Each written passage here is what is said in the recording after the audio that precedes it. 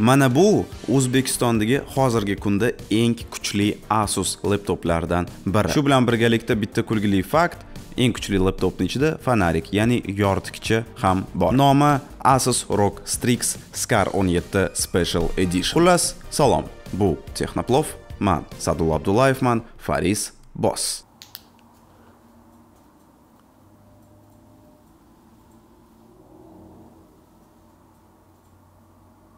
Faris mana qara mana bu yuz mingtaliklarni qalbakilari chiqqan ekan. Qani tekshirib ko'rchi qalbakimi qalbaki emasmi nima deysan? Ani nima laptop? Yangi laptopmi? Qalbaki emasmi o'zing qildingmi? Ha? Ertalabgacha Check. The grills in my mouth double as a breeze.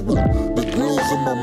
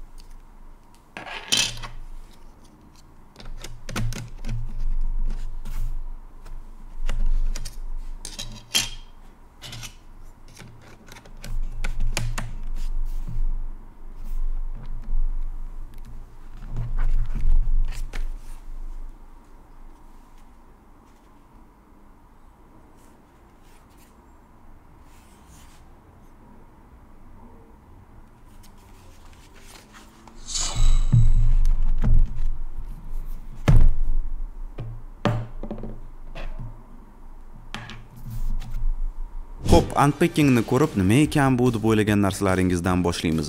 Bu ultra binafsha yoritgich va u laptopni ustida metall siyoh bilan yozilgan yozuvlarni o'qigani yordam beradi. Mana bu esa dizayn elementlari va ularni ichida istaganingizni o'rnatib qo'ysangiz bo'ladi laptopga. Mana shaffof, mana qora, mana kulrang. Ha, aytgancha buni qopqoq deymizmi? Xullas, mana shu narsasini o'zingiz 3D printerda chiqarib olib, xohlagan rangda, xohlagan uslubda chiqarib olib, mana shu mana shu yerga o'rnatib qo'ysangiz bo'ladi qanaqa qilib yasaymiz deb so'rasangiz asusni saytidan ana shu detalning modelini yuklab olasizda uni sal pal o'zgartirib xohlaganingizcha chiqarib olishingiz mumkin. 3d printer yordamida. Ha yana laptop qutisini ichidan ajoyib bitta sumka ryukzak chiqib keladi. Laptopni ko'tarib yurish uchun juda yam qulay juda yam sifatli. Mana bu kalitni esa vazifasini va nima qilishini video davomida aytib beraman. Umumiy oladigan bo'lsak dizayni juda yam yomon emas. Nega?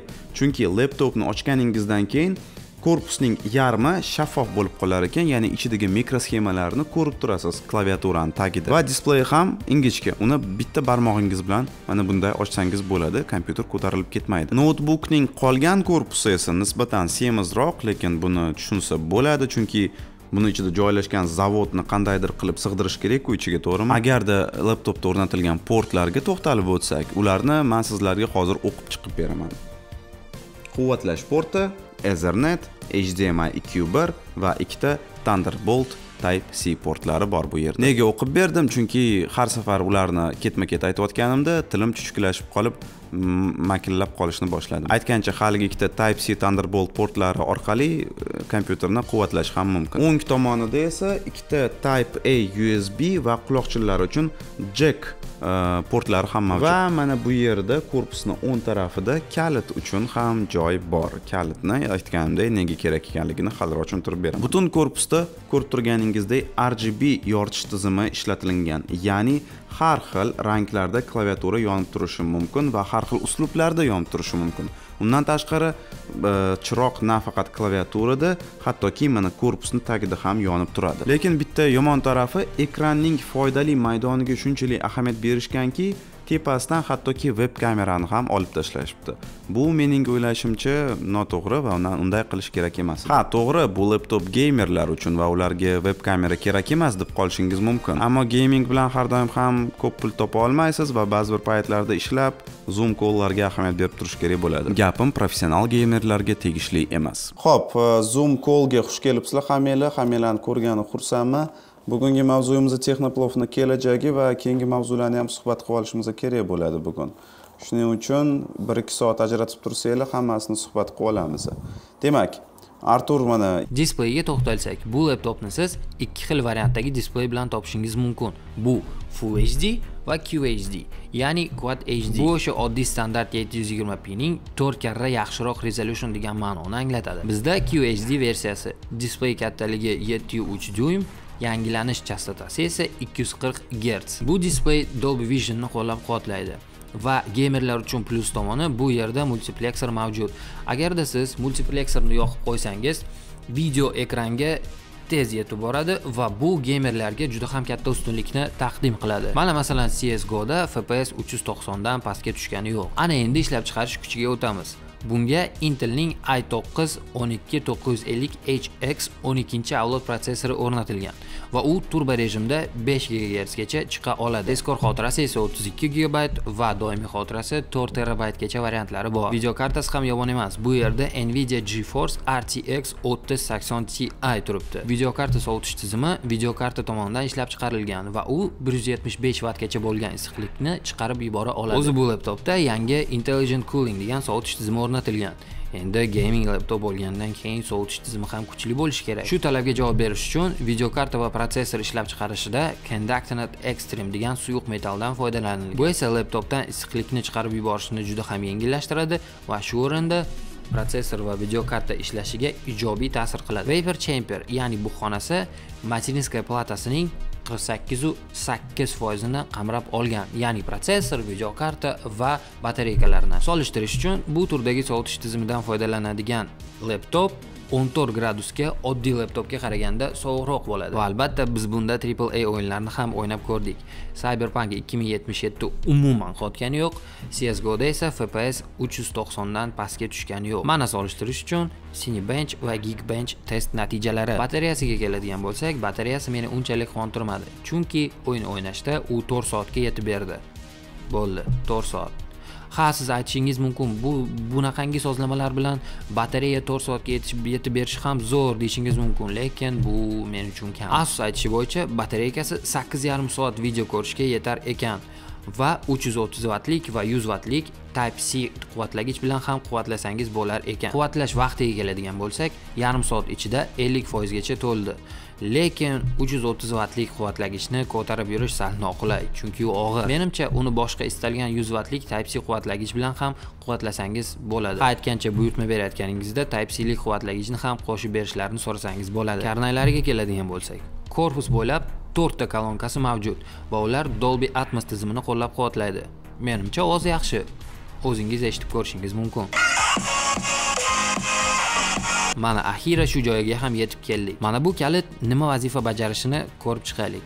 Buning nomi keystone. Bu kalitni joydan mana bunday chiqarib noutbukka kiritsangiz bu sizga maxsus o'zingiz yaratgan fayllarga kirishga ruxsat beradi. Busiz unga kira olmaysiz. Undan tashqari bu faqat siz uchun o'rnatilgan shaxsiy sozlamalarni eslab qoladi va kiritilganida shu sozlamalarni yoqadi. Xo'sh texnoshpazlar nima deb o'ylaysiz? Bu laptopning narxi nechta oshga to'g'ri keladi? Izohlarda yozib qoldiring. Siz esa texnoplov kanalida edingiz. Man faris abduraimovman layk bosing obuna bo'ling. Xayr backstage yo'q degandan keyin man anayoqqa qarab anu nima deshim ko'rinadida mana qarang yuzmentalilarni qalbakilari chiqqan ekan qani tekshirchi qalbakimi qalbaki emasmi la La! birini mani qidiryapman mana bu yuzmentalilarni qalbakilari chiqqan chiqqan ekan qani tekshirib ko'rchi qalbakimi qalbaki emasmi